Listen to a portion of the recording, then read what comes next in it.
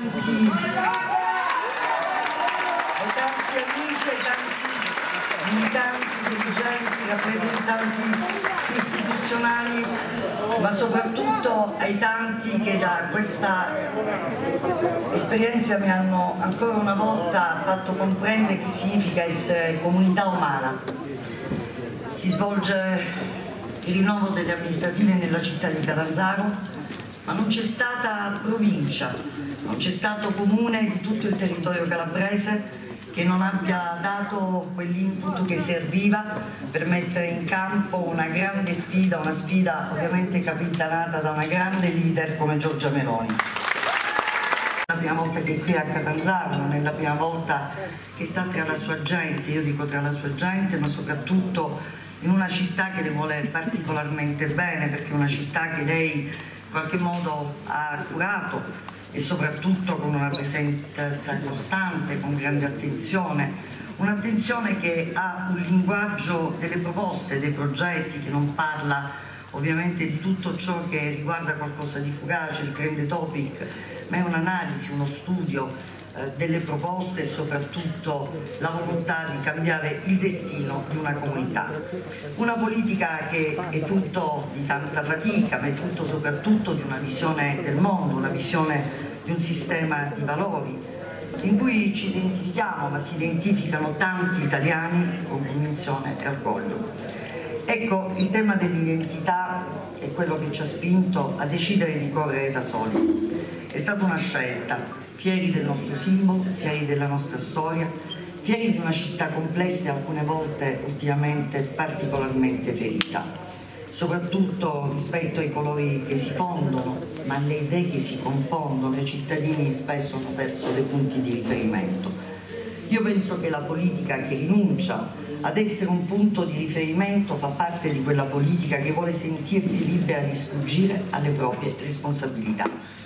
Ne parlo subito così evitiamo eventuali speculazioni possibili e future rispetto a quello che è stato un tavolo del centrodestra che ha fallito, fallito perché ripiegato su se stesso in una resa dei conti interni nella quale doverosamente stiamo, siamo stati fuori, ripiegato sulla ricerca di una leadership cittadina ma non per guidare la città ma soltanto fine a se stessa e soprattutto perché si è ripercorso anche un devo dire, un lungo quinquennio dove probabilmente tante cose dovevano andare in modo diverso. E io parto dal presupposto anche che abbiamo considerato la possibilità di eventualmente di poter fare un percorso in un movimento che fosse la possibilità di un civismo sempre con il nostro simbolo, al quale avremmo potuto certamente contribuire con la forza delle idee, con i programmi, con le nostre proposte sempre concrete e rappresentative. Ma eh, questo non è avvenuto perché pur avendo avuto il rispetto delle scelte degli altri partiti ci siamo resi conto che molti compagni della squadra stavano delineando un percorso diverso da quello che il nostro, non giocavano la stessa partita nella crescita della città, ma soprattutto non giocavano un gioco con le stesse regole, la coerenza, la realtà, lo spirito di sacrificio, l'esclusivo interesse del bene comune.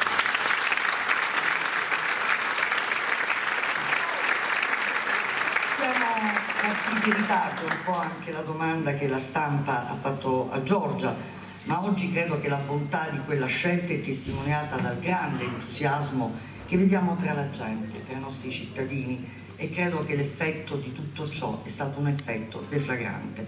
Ma soprattutto Giorgia la bontà di quella scelta è testimoniata da una grande realtà, la realtà dei nostri 32 candidati che non hanno tentennato un attimo rispetto alla volontà di mettersi in gioco, neppure quando avevamo, non avevamo ancora individuato a 48 ore dal deposito delle liste la, la scelta del sindaco, dimostrando che non corrono nessuno di loro per un'ambizione personale, nessuno di loro corrono per un interesse, ma vogliono mettersi in ballo, giocare una sfida, la sfida del cambiamento, perché credono in un progetto, ma soprattutto credono in una guida, quella guida è Giorgia Meloni.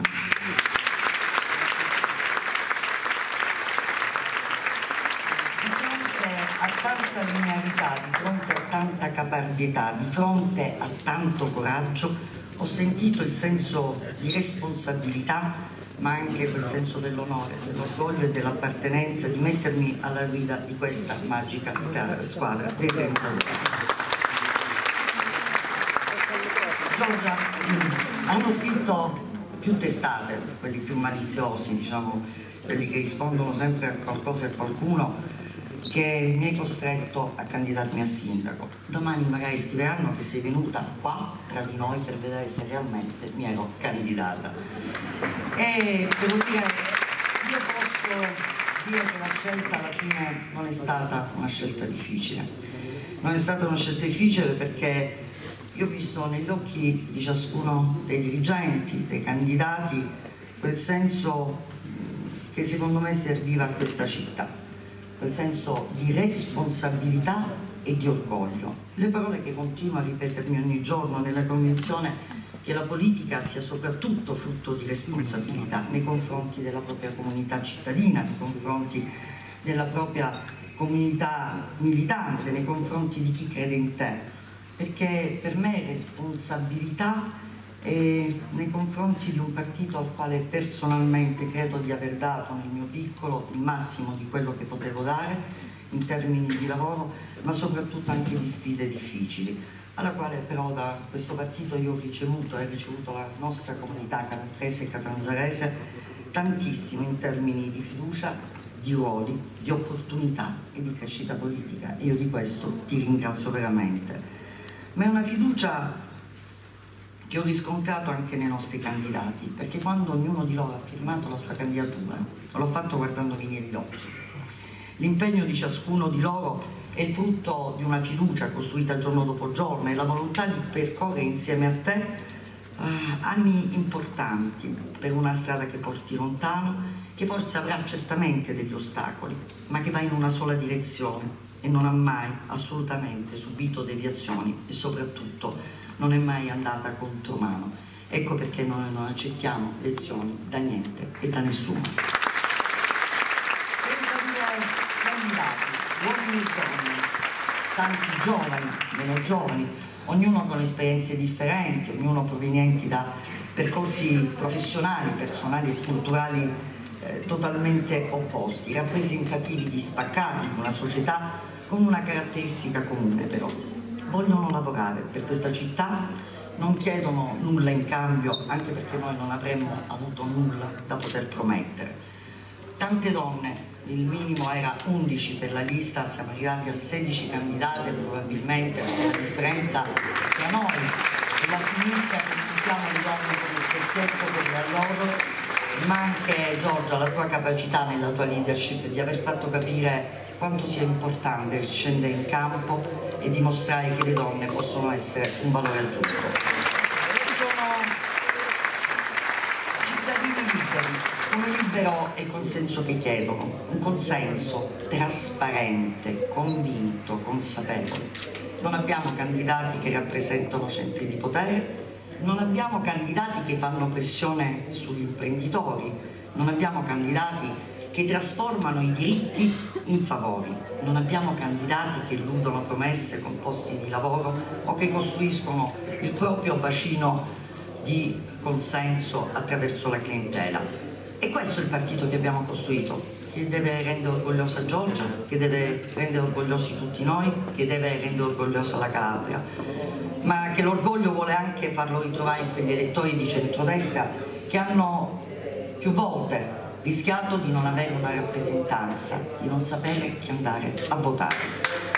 Oggi siamo l'unica, e lo dico e lo sottolineo, proposta di centrodestra, chiara, lineare e riconoscibile. Non sappiamo bene dove sia la mano sinistra, ma sappiamo dire a tutti dove sta la mano destra e la mano destra è qua, in questa sala e poi nel nostro mondo che ci accompagna. che valorizza il cambio di una città, dalla mobilità, alla ricucire il tessuto con le periferie lontane, a tutto ciò che riguarda i servizi di prossimità, all'area vasta con la Mezia, al quartiere Marinaro attraverso la sua vocazione turistica, una città che attraverso deve ripercorrere il ripristino della parte immobiliare piuttosto che del, di un centro di cultura, di un centro che riguarda la sanità, una città che dia risposte ai nostri cittadini e soprattutto alle fasce più deboli. Una città che assicuri ai giovani la dignità del lavoro, non il reddito di cittadinanza più volte definito il metadone di Stato. Una città che dia qualità nei servizi, che dia identità cittadina e testimonianza. E poi bisogna dare anche un tema all'accessibilità, ai diritti all'istruzione, ai diritti più semplici, alla salute, all'attenzione alle esigenze dei cittadini, degli anziani, dei disabili, ma soprattutto una città che non ponga più ostacoli ai più fragili. E ancora il sostegno alla famiglia, la possibilità di coniugare la vita familiare con quella lavorativa, il sostegno alle giovani coppie, alla natalità, perché la città finalmente si riempia di vita e di nuova energia. Sono temi distintivi per la destra, sono temi distintivi per il centrodestra e soprattutto sono i temi distintivi per Fratelli d'Italia. E questo ovviamente significa sostenere le attività economiche, sostenere le attività turistiche, sostenere quella nuova identità coniugata al nostro passato glorioso e certamente migliorare la qualità dei cittadini.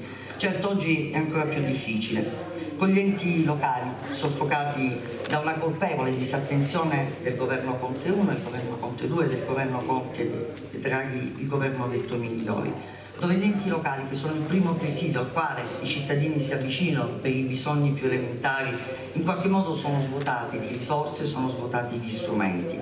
Catanzaro è cresciuta molto, la mia Catanzaro, la nostra Catanzaro, la Catanzaro degli anni in cui in qualche modo tante opere sono state realizzate. Ed ecco perché io ringrazio e poi farò dei ringraziamenti alla fine del mio intervento la presenza del singolo Sergio Abramo che tanto ha lasciato, tanto dovremo portare avanti tante cose andranno migliorate ma trovo, caro Sergio, poco dignitoso che chiedere discontinuità. Non sia Fratelli d'Italia che per scelta in questi cinque anni non ha voluto essere presente nel comune di Catanzaro ma che lo facciano chi accanto a te ha ricoperto delle poltrone e continua ancora oggi a ricoprire. La nostra storia dice chi siamo. Rinnegare la propria storia alla fine significa soltanto rinnegare se stessi. Oggi noi con i nostri uomini e le nostre donne possiamo portare il vero cambiamento, ridare dignità alla politica. Perché noi cosa stiamo chiedendo? Un voto d'opinione, un voto che non ha condizionamenti, puntiamo nel convincere i cittadini rassegnati, puntiamo a dare speranza a chi non ne ha più e soprattutto a riportare al voto i tanti cittadini che da anni non vanno più a esprimere il proprio consenso. Vogliamo liberare una volta per tutte, e questo voglio che venga considerato da ognuno di voi per una riflessione, questa città dalle catene degli interessi che ne ostacolano puntualmente la crescita. Vogliamo liberare i cittadini dalla logica del bisogno che è stata la vera arma di tanti politici per creare consenso, tenere i cittadini sotto la scure dell'indigenza, del bisogno, del dover chiedere un diritto come fosse un favore. Vogliamo restituire dignità a quelli che sono stati costretti a rinunciare per motivi di tanti problemi, di bisogno, di precarietà. Dobbiamo provare a trasformare la politica in un'industria di consensi che sia il vero servizio ai cittadini, secondo regole uguali per tutti, secondo la normalità, avendo sempre come guida due obiettivi, trasparenza e merito. Vedete, Fratelli d'Italia vuole essere protagonista di questo. Lo vuole scrivere in una città dove con una sola lista, e ringrazio ovviamente Maurizio Detto, il mio collega che con Coraggio Italia ha supportato con delle candidature all'interno della lista tre giovani candidati. Voglio ringraziare ovviamente, e poi vado alla chiusa, i tanti rappresentanti, consiglieri regionali, assessori regionali, l'eurodeputato Sofo, il sindaco di Locri, il vicepresidente della provincia, stiamo crescendo, il presidente della Fondazione Politeama, i componenti dell'esecutivo nazionale, veramente una grande squadra. Voglio ringraziare eh, Rino Colace e chiedo un applauso a Rino Colace per essere qui in questa ringrazio chi ha rappresentato una destra che ci ha passato un testimone, poi rivisitato, tornato e che Giorgia è riuscita in qualche modo a riportare a casa da Ditta Valenzise, Maddalena Basile, Micorizia. Dulcis in fondo, non me ne vogliate, ma sapete che il cuore batte tra Giorgia e Michele Traversa. Io questo lo devo perché Michele sta facendo la campagna elettorale come se fosse lui il. Non è stato per noi un mese facile e quindi da quell'Italia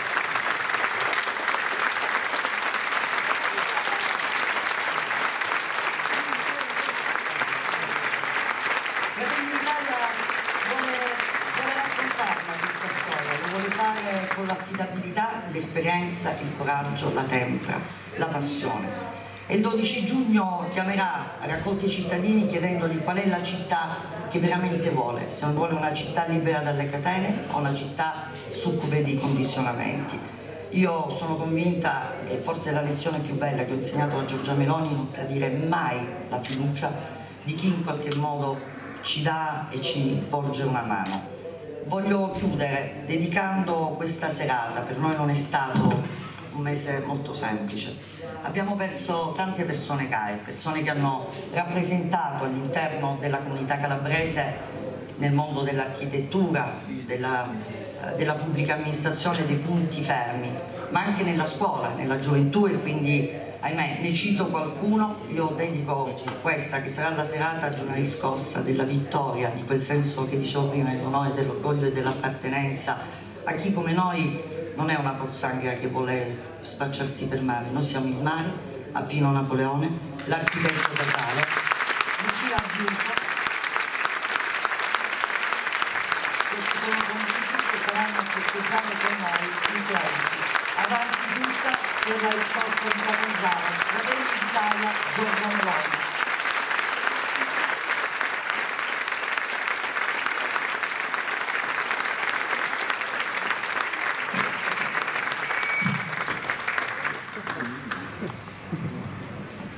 Buonasera a tutti, grazie di essere qui. Grazie a voi per questa bella presenza stasera, grazie ovviamente a tutta la classe dirigente di Fratelli d'Italia, non li cito tutti perché sono tanti, eh, però ci tengo a fare un ringrazio, due ringraziamenti particolari, anzi tre. Uno ovviamente alle persone che ci stanno dando una mano fuori dai confini di Fratelli d'Italia, sono eh, stati citati i nostri alleati, sindaco Abramo uscente.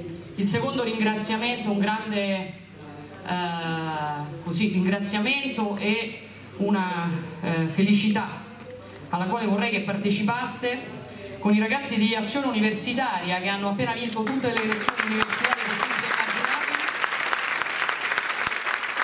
dandoci una grande soddisfazione dimostrando quanto sia capitale la presenza di Fratelli d'Italia. E il terzo ringraziamento ovviamente lo devo fare a Banda perché a me ha fatto molto sorridere banda, quando ho letto, ho saputo che si diceva che insomma eri stata costretta a candidarti e che addirittura si sarebbe messa in discussione la tua ricandidatura al Parlamento da, della Nazione se tu non avessi accettato questa, questa sfida.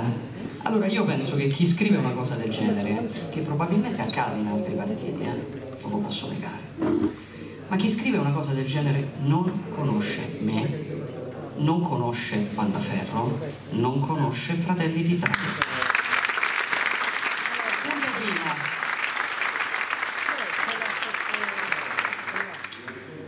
Noi non facciamo scelte sulla base del tornaconto. Se noi avessimo scelto eh, di, fare, eh, eh diciamo, di prendere le nostre decisioni sulla base della certezza di avere una poltrona, a parte saremmo stati al PD, ma avremmo fatto scelte molto diverse da quelle che abbiamo fatto in questi anni. Punto secondo, chi conosce l'attività di Vandaferro a Roma, la sua presenza in varie materie, per esempio il suo ruolo nella commissione antimafia a Roma, sa che nessun partito dotato di senno sarebbe contento di rinunciare al contributo che una persona come Banda Ferro porta alle istituzioni di questa nazione.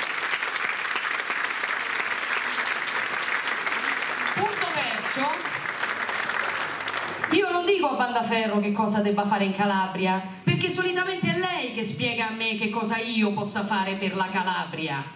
Per cui inventatevene un'altra, signori, ok? Inventatevene un'altra. Dopodiché ci hanno detto i colleghi qua fuori, i colleghi giornalisti, ma non partite in ritardo. Quanti anni so che fai politica? Tanti, 40. Non partiamo in ritardo. Sono 40 anni che Pandaferro si occupa di questa città. Sono decenni che la destra italiana dimostra di conoscere e saper governare questa città, come Michele Traversa ci ricorda bene ogni giorno. Noi non partiamo in ritardo, perché noi a differenza degli altri non abbiamo bisogno di farci conoscere, non abbiamo bisogno di convincere che ci interessa il destino di questa terra. Lo abbiamo già ampiamente dimostrato. E come sempre, anche in questa tornata elettorale, abbiamo fatto del nostro meglio.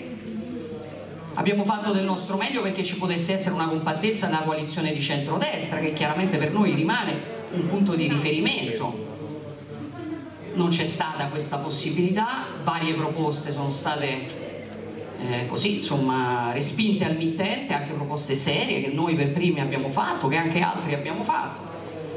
E quando a un certo punto abbiamo capito che per alcuni le beghe interne ai singoli partiti valevano più del destino di questa città, e beh abbiamo deciso di chiamarcene fuori e di fare una scelta che privilegia il destino di questa città ai problemi interni dei partiti, perché i partiti sono uno strumento, non sono un obiettivo. C'è una politica che alla fine finisce per credere che l'obiettivo del tuo impegno sia la crescita del partito, ma la crescita del partito a te serve solamente perché se sei convinto delle tue idee far crescere il partito con le sue idee è un modo per riuscire a realizzare quelle idee. Allora quello che io tento di spiegare da qualche tempo anche ai colleghi del centrodestra, scusatemi un attimo, è che la condizione sine qua non per governare bene, secondo noi, è rimanere nella propria metà campo. Rimanere nella propria metà campo. Io voglio una proposta autenticamente di centro-destra.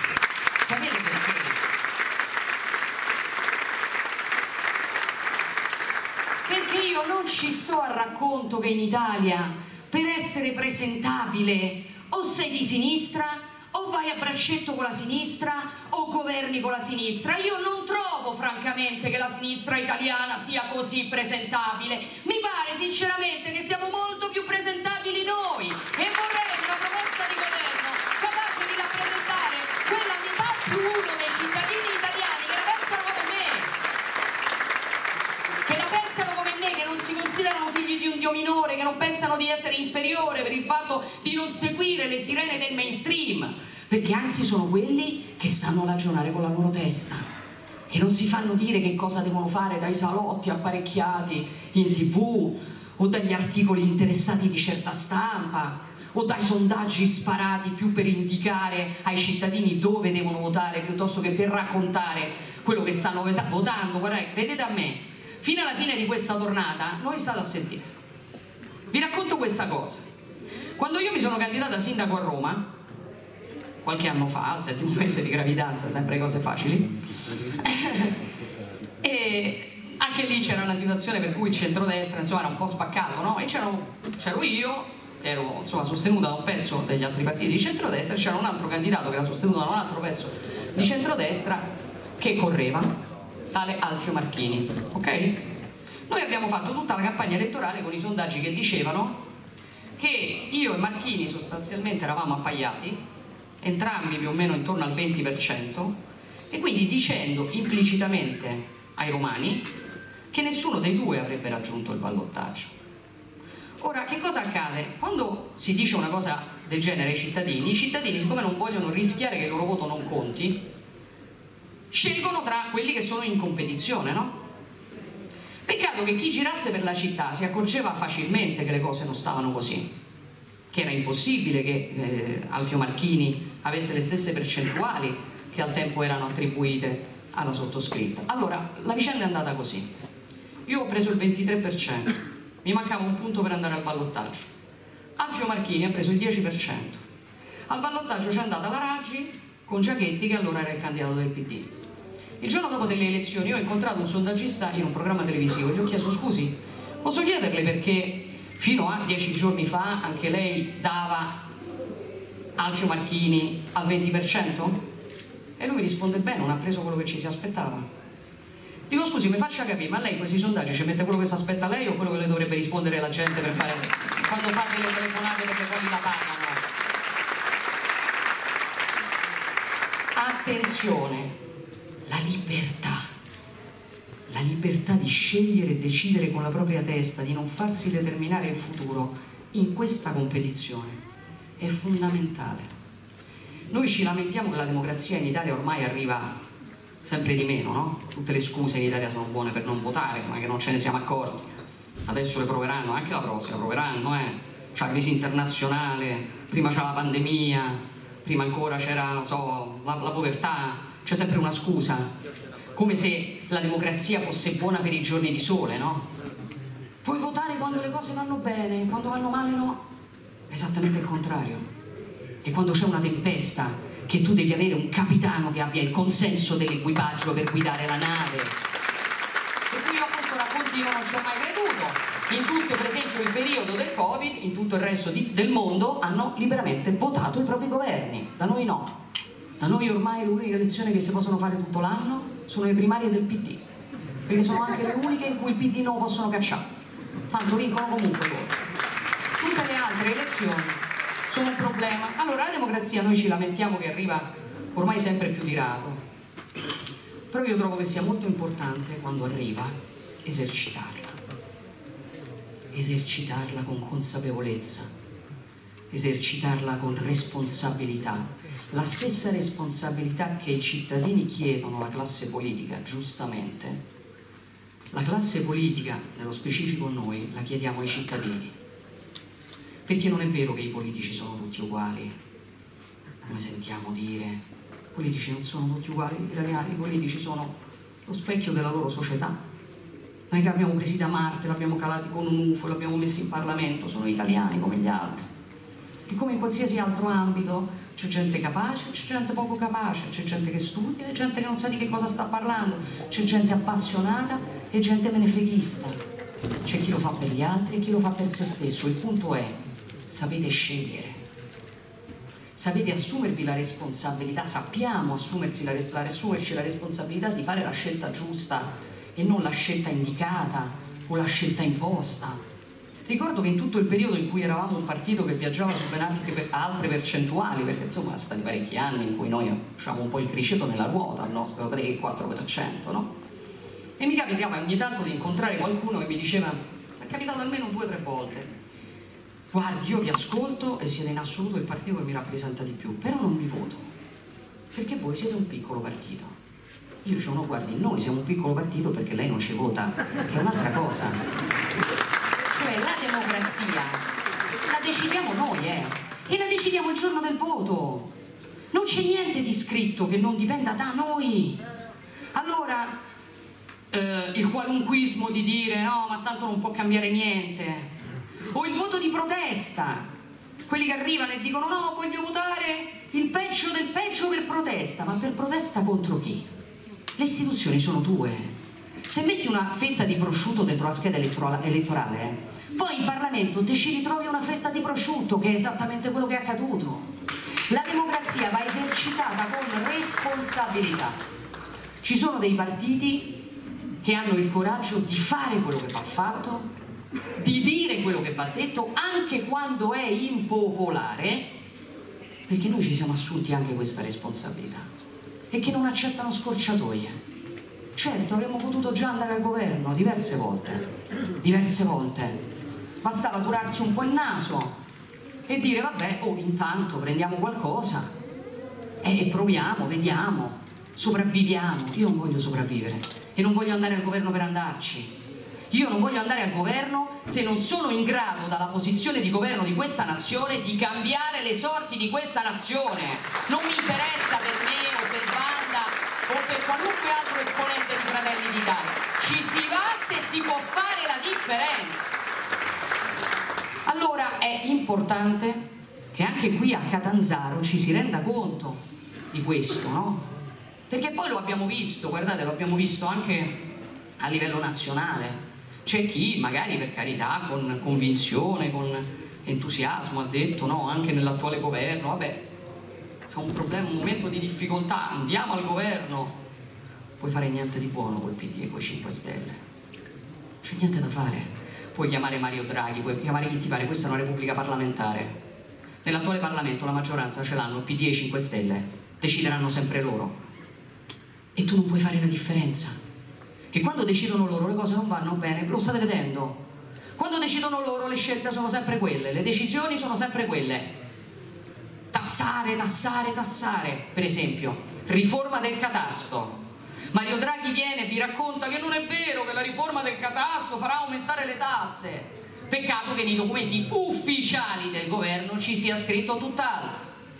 Ci sia scritto che la riforma del catasto per adeguare il valore al valore di mercato gli immobili e ci viene chiesta dalla Commissione europea, perché questa Commissione europea ci chiede sempre delle cose intelligentissime. Poi quando deve dare una mano non c'è, quando le cose intelligenti le deve fare lei non c'è, guardate quello che sta accadendo, noi ci siamo trovati di fronte a una crisi internazionale e l'Europa stava da un'altra parte. Siamo arrivati a una guerra nel cuore dell'Europa e nell'ultimo Consiglio europeo, mentre ancora già si parlava della crisi in Ucraina, loro stavano a parlare della, uh, della, della, della inclusione gender, gender, o del Natale, che non si può scrivere nei documenti la parola Natale se no gli islamici ci rimangono male. No, un abbraccetto con Greta Thunberg, tutte cose intelligentissime, lasciare delibere su come si cucinano gli insetti, e intanto noi non avevamo una politica estera, non avevamo una politica di difesa, non avevamo approvvigionamento energetico perché siamo totalmente dipendenti dall'estero, non avevamo diciamo, catene di approvvigionamento fondamentali e oggi rischiamo addirittura una crisi alimentare perché le due nazioni in guerra producono da sole il 30% dei grani mondiali l'Europa stava da tutt'altra parte. Questa Europa che ha queste intelligentissime priorità ci dice che noi dobbiamo modificare la tassazione sugli immobili, cioè che dobbiamo modificare eh, o aggiornare le, le stime catastali ai valori di mercato per fare cosa? Ve lo dico io, per scaricare l'aumento della tassazione sul prossimo governo. Scommettiamo? Mm. E vi dico di più, il problema non è solo l'aumento della tassazione sugli immobili, il problema è anche di se. Perché se il valore della mia casa ha condizioni invariate, cioè io non cambio casa, ho sempre la stessa casa, il valore della mia casa viene rivisto e aumenta, io figuro più ricco, senza che sia cambiato assolutamente niente, eh? Io figuro più ricco e come sapete il parametro di ricchezza è quello che vi fa accedere ai servizi sociali. Per cui noi rischiamo che da un giorno all'altro, senza che la nostra condizione sia minimamente mutata, ci ritroviamo che la graduatoria che avevamo per mandare i nostri figli all'asilo nido è cambiata e non abbiamo più quel diritto. Cambiato niente? No, però ce lo chiede l'Europa, ma l'Europa ogni tanto ci può chiedere pure una cosa intelligente.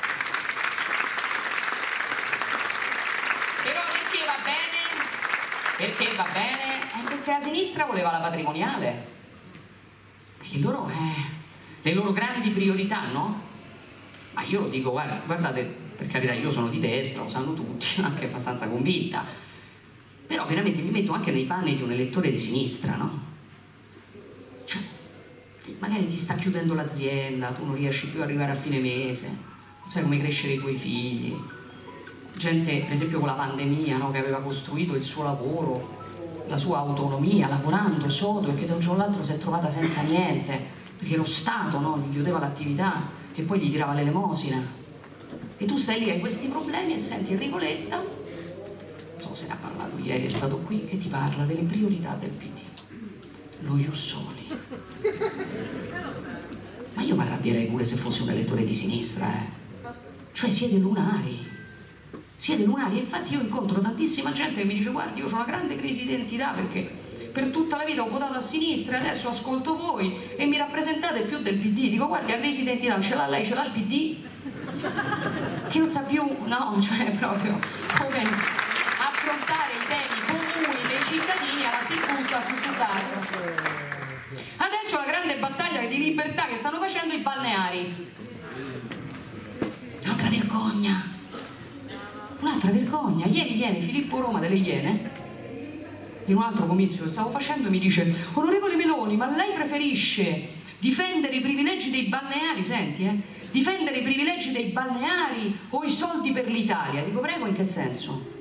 Perché se noi non mettiamo all'asta attenzione eh, se noi non mettiamo all'asta i nostri stabilimenti balneari non ci arrivano i soldi del PNRR dico scusi ma esattamente sta trattativa dove le figura cioè lei mi sta dicendo che il governo italiano si sarebbe impegnato per avere delle risorse che sono per due terzi a debito, significa che noi le ripaghiamo con gli interessi a spendere 30.000 aziende italiane per darle alle multinazionali straniere. E chi l'ha fatto questo accordo?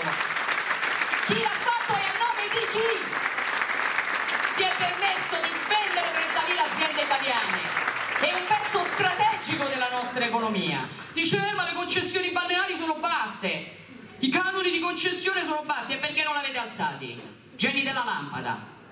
Che passiamo da le, le, i canoni di concessione bassi a svendiamo i nostri stabilimenti. Vabbè, ma che c'entra? Ma allora, alla fine mi dice anche Filippo Roma, delle Iene rimango basita. Ho detto Filippo, mi spiace, sta prendendo una cantonata. Ma che male c'è? Se arrivano eh, delle multinazionali straniere a investire, che male c'è? Ma di che state parlando? Ma di che state parlando? Di uno Stato che si impegna con dei cittadini italiani che investono risorse sulla base di un impegno che hanno con lo Stato, fidandosi dello Stato italiano, che da un giorno all'altro vengono espropriati di investimenti che hanno fatto per regalare quello che hanno costruito a delle oscure entità. Dice, beh, ma magari ci sarà qualche giovane italiano che potrà ambire a gestire uno stabilimento balneare, sì, di, di, di Amazon, uno tipo Zuckerberg, un giovane tipo Zuckerberg. Me non paiono queste le grandi risposte, ma lo dico anche per una terra come questa, lo dico anche per una realtà come Catanzaro. Perché per esempio noi pensiamo che lo sviluppo dell'Italia sia esattamente lì, no? E particolarmente lo sviluppo del mezzogiorno. Quando c'è stata la discussione sul PNRR, noi abbiamo fatto alcune proposte partendo proprio da quelle che sono le peculiarità, le specificità di questa nazione, no? Non è vero, guardate, che il declino, il declino non è mica un destino, eh. Il declino è una scelta. Certo, se tu pensi di risolvere il problema del mezzogiorno con reddito di cittadinanza, non lo risolvi. Mi assumo la responsabilità di dire una cosa che per molti può essere impopolare. Io sono stata molto reda guida per aver detto che considero il reddito di cittadinanza la stregua del mantenimento a metatone, ma ve, ve lo, ve lo, ne, ho, ne ho parlato tante volte. Spiego. Il metatone non cura un tossicodipendente. Il metatone lo mantiene nella sua condizione di tossicodipendenza. Non gli risolve il problema. Io non sono mai stata favorevole al mantenimento a metatone. Io penso che il tossicodipendente sia un malato perfettamente curabile come le comunità terapeutiche hanno ampiamente dimostrato. No? Il reddito di cittadinanza, alla stessa maniera, non risolve la tua condizione di povertà, ti lascia stabile in quella condizione a dipendere dalla politica e magari a dover decidere di votare quello che ti garantisce tu da un giorno all'altro non ti ritrovi un'altra, un volta senza neanche il reddito di cittadinanza. Ma quella è libertà. È libertà o è schiavitù?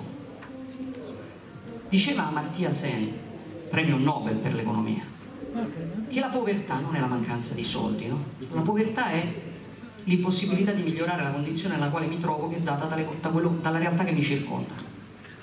Se io qui non investo per far sì che le persone che meritano possano crescere e uscire da quella condizione di povertà, non vincerò mai la povertà. Non è tamponare che risolve il problema e guardate, io penso anche che ci sia qualcosa di profondamente diseducativo nel reddito di cittadinanza.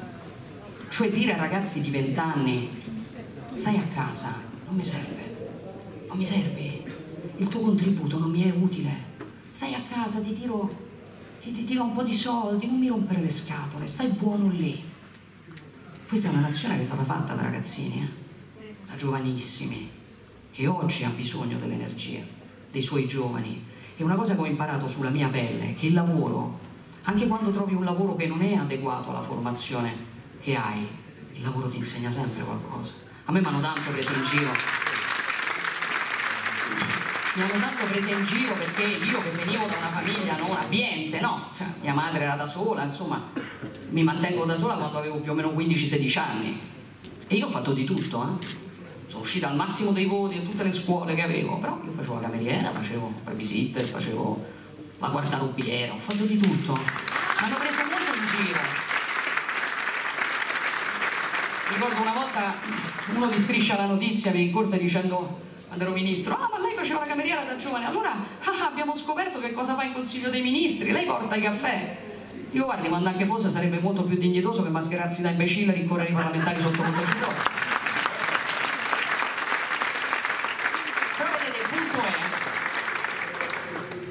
Che a me ha insegnato spesso molto, molto di più fare quei lavori che stare intere giornate in Parlamento. Perché i problemi delle persone comuni, di chi vive la vita tutti i giorni, non li capisci se non ci passi un attimo sopra. E io ringrazierò sempre il mio destino che mi ha fatto fare questo percorso così altalenante perché mi aiuta e mi ha sempre aiutato a tenere i piedi per terra. Allora il messaggio che noi dovremmo dare ai nostri giovani è diametralmente opposto avrai una politica che farà tutto quello che deve fare per metterti nella condizione di avere quello che meriti, ma non perdere tempo, perché il lavoro è la più grande forma di educazione che esista, quindi nel dubbio lavora sempre. E però poi quali sono le condizioni per garantire alle persone? Intanto c'è un tema di mentalità, un tema culturale a noi ci ha devastato la cultura sessantottina che poi si è riproposta in salsa grillina con la storia dell'uno vale uno.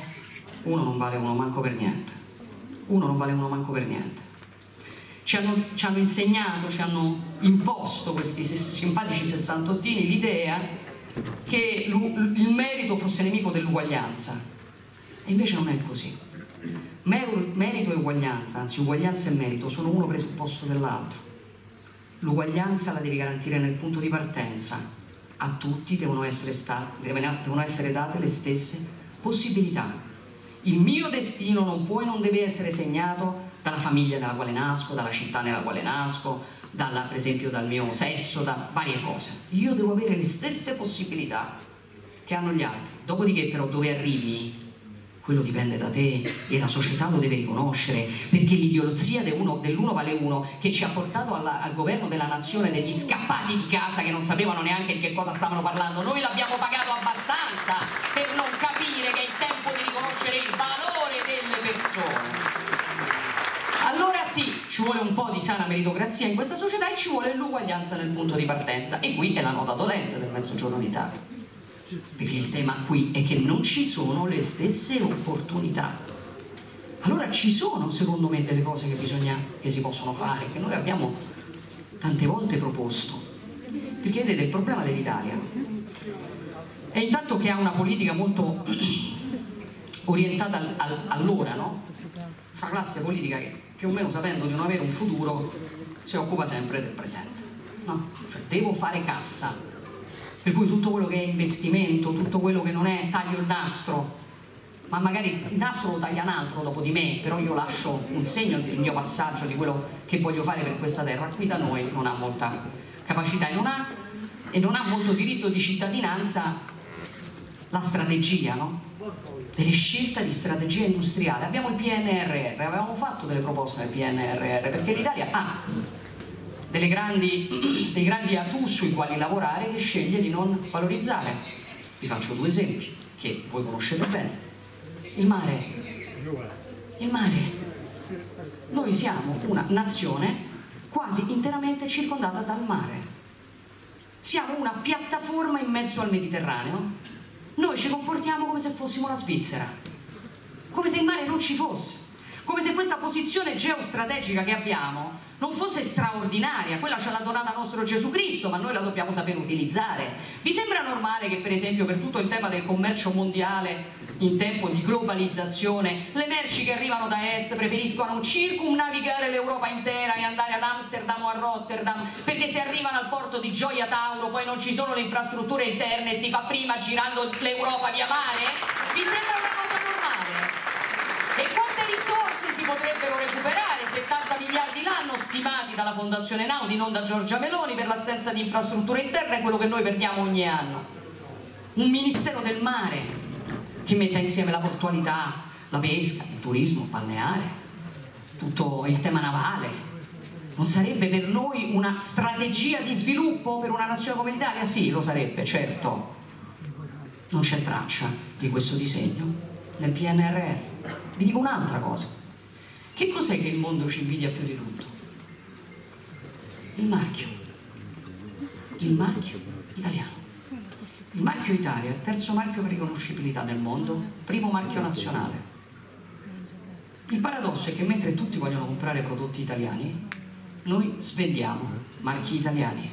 Una follia, una follia. Perché guardate, in tempo di globalizzazione, in tempo di globalizzazione noi mica competiamo sulla quantità, eh? Non, non competiamo su quelle produzioni che non hanno riconoscibilità. Noi competiamo su tutto quello che invece è legato alla nostra identità. Su quello noi non abbiamo rivali. Scegliamo di non investire su questo, che vuol dire anche formazione. Eh. Lo dico per i giovani, lo dico in un territorio che di marchio, insomma, sa di che parlo dalle eccellenze enogastronomiche in poi, ma quando si parla di marchio si dice anche per esempio tutto il campo del turismo, no? il made in Italy, tutto quello che tu trovi qui. E se tu facessi una formazione di eccellenza, per esempio legata al tema del marchio, beh, forse qualche spazio si aprirebbe, perché guardate il paradosso. Noi abbiamo decine di migliaia, anzi molti di più, centinaia di migliaia di giovani disoccupati, qui il tema no, di decine di migliaia di ragazzi costretti a scappare ogni anno perché non trovano opportunità, ma che vorrebbero invece crescere nella loro terra, che amano, dopo che oltretutto le loro famiglie hanno investito eh, per farli studiare, quindi il famoso contributo che la Calabria dà al mondo intero, formando gente che poi porta quella formazione da un'altra parte. Mentre noi abbiamo queste centinaia di migliaia di giovani disoccupati, interi settori in Italia non trovano manodopera qualificata. Provate ad andare a parlare con la Camera Nazionale della Moda. Per tutto quello che in Italia viene prodotto e che fa l'eccellenza italiana, eh? non c'è manodopera qualificata perché non viene fatta formazione. E noi rischiamo di perdere tantissimi mestieri anche perché abbiamo sbagliato approccio cultur culturale. Vi faccio un esempio che può sembrare stupido. Guardate Masterchef. Se voi aveste detto dieci anni fa a un giovane fai il cuoco, quello avrebbe risposto no, ma dai, ma il cuoco. Poi è arrivato Masterchef, no? E si è scoperto che da noi cucinare conoscere il prodotto, la materia prima, è una forma d'arte legata alla nostra identità che si può mescolare con altre identità, è una forma di arte e adesso tutti vogliono fare il fuoco o comunque ne hanno capito il valore. Ecco, a noi serve di fare lo stesso percorso culturale su mille altre questioni che vanno da tutto il settore della moda, tutti, tutti i campi, il settore della produzione agroalimentare, dove ci sono grandi aziende ormai che mettono insieme la tradizione dei padri con l'innovazione dei figli e che stanno facendo grandi cose nel mondo, penso a tutta la tradizione vitivinicola che in Italia è tornata prima produttrice mondiale, ma quello è il nostro obiettivo. Allora perché noi non concentriamo le risorse del PNRR su una grande strategia industriale votata al marchio? Ve lo dico io perché. Perché le risorse del PNRR sono destinate ad altro. A cosa direte voi? Eh, a diverse cose perché come al solito le risorse si, si, no, si spargono si spargono facciamo un po' di tutto e non ci facciamo niente è il problema anche di avere queste maggioranze un po' confuse dopodiché l'Europa ci ha dato un grande obiettivo per il PNRR che è la transizione verde Mo. Io considero Fratelli d'Italia il partito, diciamo, uno dei partiti più ecologisti del panorama politico però ci dobbiamo capire sul tema della transizione verde perché qui non siamo cretini che cosa prevede la transizione verde in salsa europea? Che noi vogliamo arrivare alla diminuzione dello 0,8 di emissioni globali, se va bene, e per farlo ci leghiamo cioè puntiamo tutto sull'elettrico. Sapete da chi viene prodotto l'elettrico? I componenti fondamentali per l'elettrico sono estratti in Africa dalla Cina con tecniche che devastano l'ambiente. I pannelli solari sono prodotti in Cina con le centrali a carbone. Cioè noi pensiamo di combattere l'inquinamento globale massacrando i nostri, diciamo, eh, eh interessi nazionali per legarci alle nazioni che inquinano di più al mondo, che è una follia. Cioè noi mettiamo la plastic tax, mettiamo la plastic tax alle aziende europee quando i fiumi europei contribuiscono per lo 0,8 allo sversamento di plastica in mare e poi importiamo senza dazio da Cina e India che da sole fanno l'80% dello sversamento di plastica in mare ma sta intelligente strategia chi l'ha scritta? Greta Thunberg? perché a me non sembra così geniale cioè sì, difendere l'ambiente per esempio tutto il tema dell'energia è un tema sul quale il Sud può costruire una filiera perché qui c'è diciamo vento, sole non mancano e quindi per esempio tutto il tema del fotovoltaico il sud potrebbe diventare un hub di produzione per tutto il centro-nord. Certo che queste cose vanno fatte ma attenzione perché se noi bandiamo le auto elettriche per farle produrre con le centrali a carboni dai cinesi a noi ci crolla tutto il settore dell'automotive eh. insomma mi pareva che fosse sufficiente aver consegnato la Fiat ai francesi dopo averla riempita di miliardi. Non mi sembra che serva di fare altri danni in questo senso ci sono varie cose che si possono fare, infrastrutture, ne parlavamo prima in parte, no? Mi fa sorridere un po' il governo italiano, settimana scorsa, sì, la settimana scorsa hanno organizzato questo evento sul sud, fantastico, per decantare i risultati sul mezzogiorno e vantarsi del fatto che eh, le risorse territorializzabili erano investite per il 40% nel mezzogiorno. Fratelli d'Italia chiede da sempre il 50%, voi sapete che queste risorse vengono distribuite in base alla popolazione, quindi siccome il 36% dei cittadini abita al sud, il 36% delle risorse per infrastrutture vanno al sud e il resto va nel centro-nord, solo che è un parametro secondo noi superato, perché? perché al sud vive il 36% della popolazione perché al sud abbiamo un problema di spopolamento. Il problema di spopolamento c'è perché non ci sono infrastrutture cioè perché non ci sono le opportunità. Le opportunità mancano perché non ci sono le infrastrutture e noi continuiamo a legare le infrastrutture alla, alla popolazione è un cane che si morde la coda, quindi noi abbiamo chiesto il 50 per recuperare il gap. Il governo dice che l'ha portato al 40, bene, è già una cosa.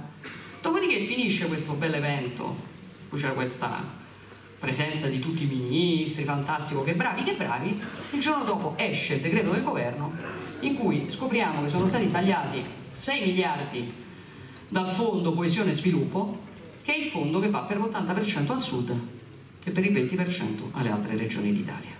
E allora il gioco delle tre carte no, perché qui ci servono le infrastrutture di cittadinanza, ci serve la possibilità di far arrivare il mondo alle bellezze che abbiamo qui, ci serve la possibilità di fare investire la gente da queste parti e di non considerarlo un problema perché nel tempo della velocità se un posto è irraggiungibile non ci fa niente, mi dispiace, noi abbiamo avuto vi cito un tema che non è diciamo direttamente calabrese, noi abbiamo avuto Matera capitale della cultura, capitale europea della cultura.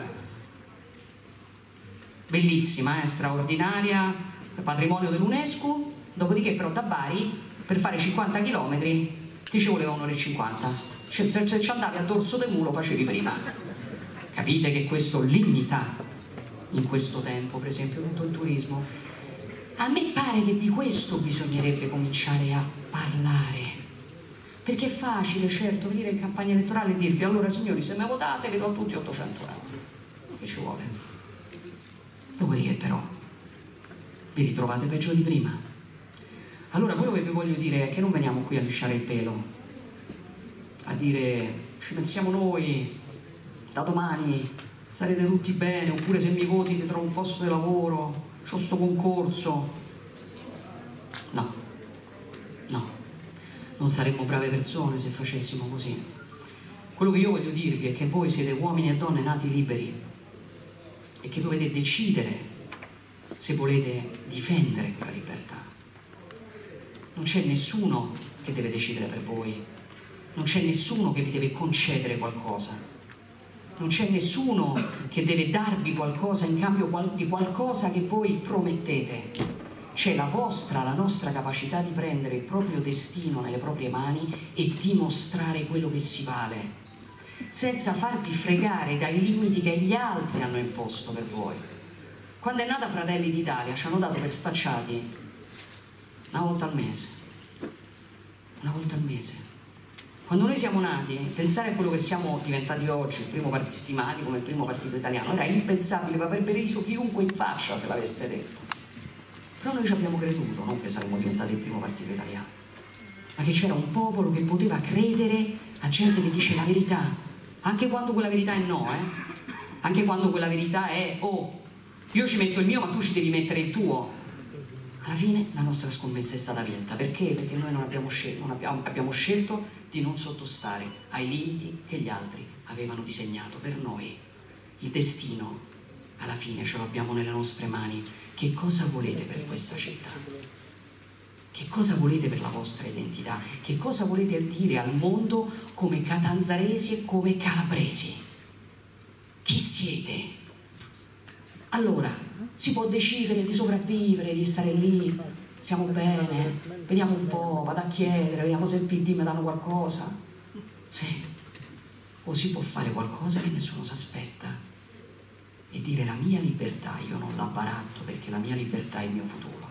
Se oggi sono in grado di prendere in mano il mio destino, domani quel destino mi apparterrà.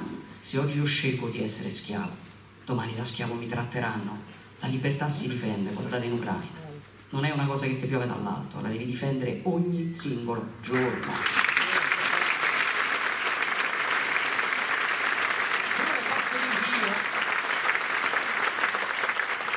Posso dirvi io che voi conoscete ormai Fratelli d'Italia, conoscete la sottoscritta, ma soprattutto conoscete Vanda Ferro.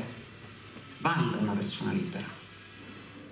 Vanda è una persona libera, è una donna capace, è preparata ed è umana una persona, che ha fatto di tutto nella vita perché ha ricoperto tantissimi carichi, non si è mai montata la testa, non si è mai percepita come migliore no? di quelli che voleva rappresentare. Noi siamo fatti così. Voi lo sapete che questa persona può fare la differenza perché voi l'avete già vista all'opera, l'avete vista come assessore, l'avete vista come presidente della provincia io l'ho vista in Parlamento, ma l'avete vista anche voi perché poi in Parlamento ci sta a difendere soprattutto i diritti e i bisogni dei calabresi. Voi conoscete Vanda, conoscete Fratelli d'Italia, conoscete un partito che ahimè è un po' rigido. Quando dice una cosa la fa tendenzialmente, non viene qui a dire oh, cioè, poi cambia idea il giorno dopo, dice oh quanto siete bravi, siete coerenti, ma guardate anche questa storia della coerenza, io sono contenta chiaramente che si dica Fratelli d'Italia è un partito coerente, ma la coerenza per come la vedo io è un prerequisito della politica, eh. come lo sarebbe l'onestà. Se tu sei coerente se credi in quello che dici, se non credi in quello che dici e lo dici per dirlo, non sei coerente. È una cosa che capita a molti in questo periodo. Perché? Perché c'è una parte della classe politica che rinuncia a guidare la società, che sarebbe il compito della politica, e la insegue. Si svegliano la mattina, si leggono i big data su Facebook e dicono quali sono le cinque parole che vanno di moda oggi. Dico quelle cinque, ma ieri hai detto il contrario, chi se ne frega, chi se lo ricorda?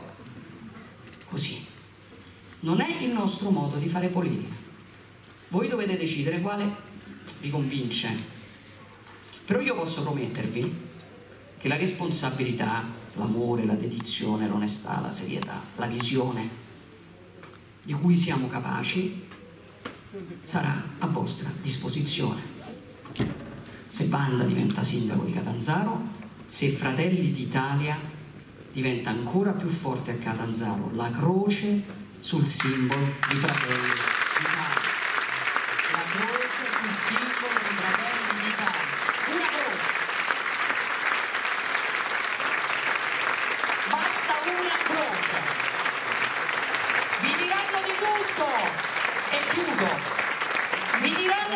Tutto, signori, come hanno sempre fatto quando arrivano le campagne elettorali contro di noi, perché non sanno che dire.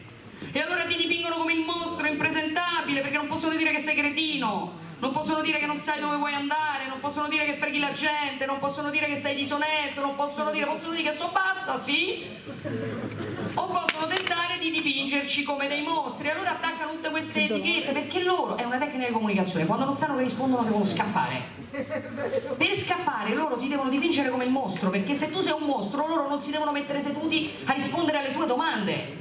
Allora se tu gli dici scusate ma sta politica che state facendo sull'immigrazione con la quale confondete immigrati clandestini e profughi non mi sembra una stupidaggine, voglio dire l'avete viste le immagini dei profughi ucraini, vero? Avete visto queste immagini di donne e bambini che scappano? Perfetto, sono circa dieci anni?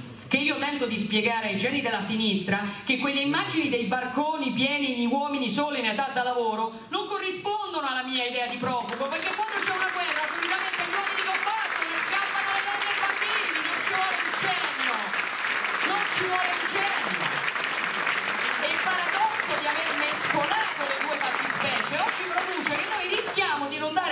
Sostegno a chi sta veramente scappando dalla guerra perché abbiamo troppa gente che non scappava dalla guerra che oggi va a maggior ragione rimpatriata per fare posto a chi deve stare invece in Europa perché c'è il diritto a starci. Quando tu dici così, loro non sanno che risponderti. E che ti dicono? Razzista. Eh certo. Tu presenti la proposta di legge contro l'utero in affitto? Perché i bambini non si comprano, gli uteri non si affittano. c'entri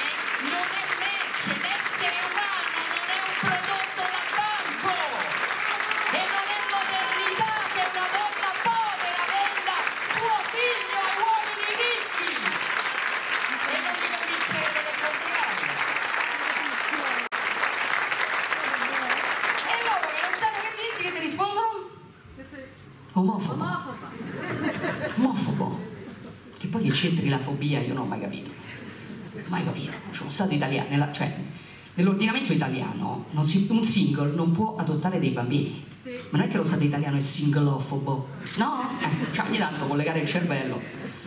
Poi tu fai delle domande che ne so. Dici scusate ma è normale che questo tema dei vaccini no? è normale che noi impediamo a un ragazzino di 12 anni che non è vaccinato con un vaccino su, sul quale la comunità scientifica per quella fascia d'età non, non è tutta d'accordo e a un bambino non vaccinato gli impediamo di fare sport che è una pratica sulla quale la comunità scientifica è tutta d'accordo che gli faccia bene loro non ti sanno rispondere che ti dicono? Novax io sono l'unico Novax vaccinato d'Italia del mondo, del mondo è così, è una tecnica di comunicazione. Dici scusate ma perché chiunque voglia manifestare contro il governo inventate, avete visto che adesso pure il diritto di manifestazione per un lungo periodo, no? Dipendeva da chi manifestava, perché se manifestavi a favore del governo potevi scendere in piazza.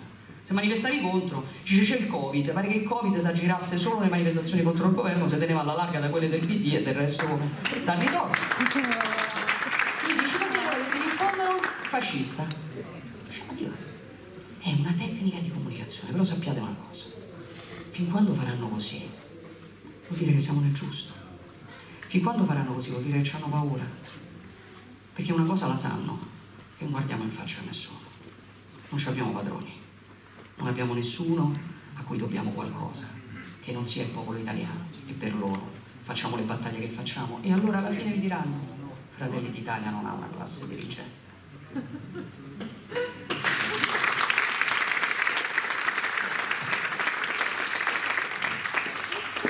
Questo è il nostro candidato a sindaco di Catanzaro. Ora, a chi dice Vandaferro, a chi dice noi non abbiamo una classe dirigente, prego di guardare Vandaferro, la sua storia, e ricordarsi che noi abbiamo affrontato una pandemia con Roberto Speranza alla salute.